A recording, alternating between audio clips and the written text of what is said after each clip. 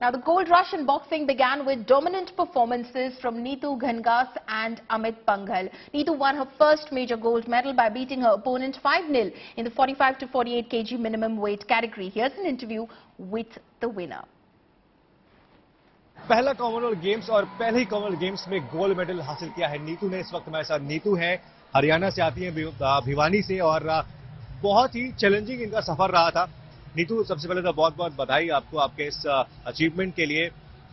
Commonwealth games का quarter final semifinal और final कौन सा सबसे ज़्यादा आपको आसान लगा और कौन सा सबसे ज़्यादा टफ लगा?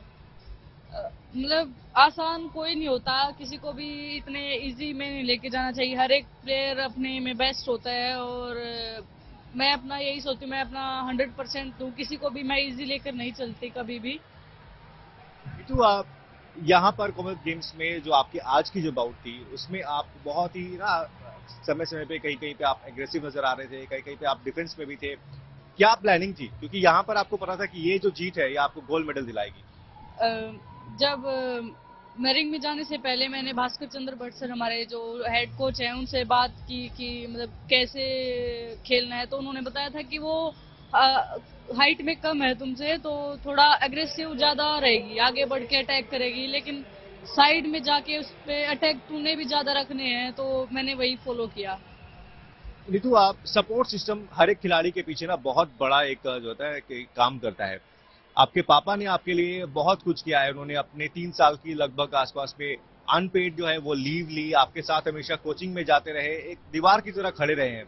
आप कैसे देखते मुझे बहुत सपोर्ट मिला है मेरी फैमिली का और मेरे पापा का तो मुझे बहुत ही ज़्यादा सपोर्ट मिला है। उन्होंने विदाउट पे होके मेरी ट्रेनिंग करवाई इतने सालों से और उन्होंने कभी भी ये नहीं सोचा कि भाई लड़की है तो नहीं करेंगे। उन्होंने मुझे बहुत ही ज़्यादा सपोर्ट किया है गेम में भी और डाइट में, हर एक चीज़ में बहुत सपोर्टिव है मेरे लिए। आपने जब बॉक्सिंग की शुरुआत की थी, उस वक्त से ही आपके जो पापा हैं वो लगातार आपके साथ रहे हैं। हर सफ़र में आपका उन्होंने साथ दिया है। ये जो मेडल है आप क्या बोलेंगे उनको? किस तरीके से आप उनको इस मेडल के बारे में बताएँगे?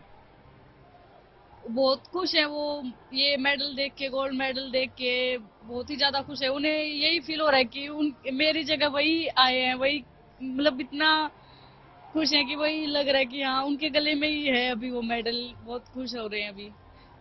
बिल्कुल ऑब्वियसली खुश होंगे और क्योंकि इतनी मेहनत की है अब नीतू का जो है अगला गोल क्या है? अगला टारगेट क्या है? अभी हमारे बहुत कंपटीशन है आगे चलते रहेंगे तो मैं अपनी ट्रेनिंग और अच्छी करूँगी पूरा फोकस से और ऐसे ही देश के लिए मेडल जीतती रहूँगी। अपने थोड़ा सा सफ़र के बारे में बताइए कि आपने 12 साल की उम्र से बॉक्सिंग की शुरुआत की थी आज आप कॉमर्स गेम्स कर रहे हैं इससे पहले भी आपके पास जूनियर का जो है मेडल है।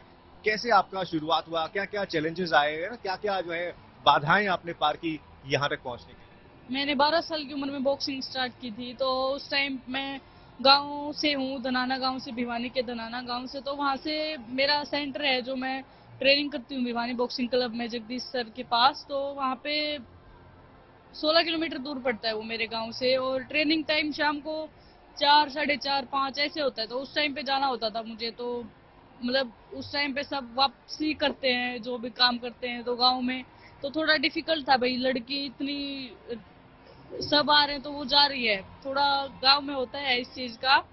और मेरी परफॉर्मेंस भी नहीं थी उस टाइम पे। जब मैंने खेलना स्टार्ट किया तो दो तीन साल तो लग ही जाते हैं किसी भी लेवल तक जाने के लिए। तो वो उस टाइम पे ये भी नहीं था। तो मतलब थोड़ा ये फील हुआ कि भाई ऐसी जा रही है लड़की, कुछ ज़्यादा खास नहीं है। मतलब घूम के आ जाती भिवानी तक तो। तो वो बात भी बहुत फील होती थी कि तो फिर मैंने पापा से बात की तो उन्होंने बहुत सपोर्ट किया। तो मेरे साथ वो विदाउट पे ही हो गए थे उस टाइम पे तो मेरे साथ जाना, मैं ट्रेनिंग करती रहती हूँ, बाहर खड़े रहते थे। इस चीज़ का भी बहुत दुख होता था। एक तो विदाउट पे है मतलब मेरे दो भाई बहन हो रहे हैं तो उनको भी संभालना और वो मेरे ऊपर ही पूरा फोकस है उनका।